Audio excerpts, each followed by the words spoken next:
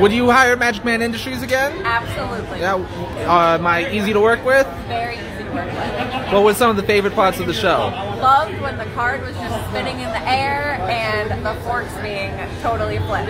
Super cool. Thank you very much.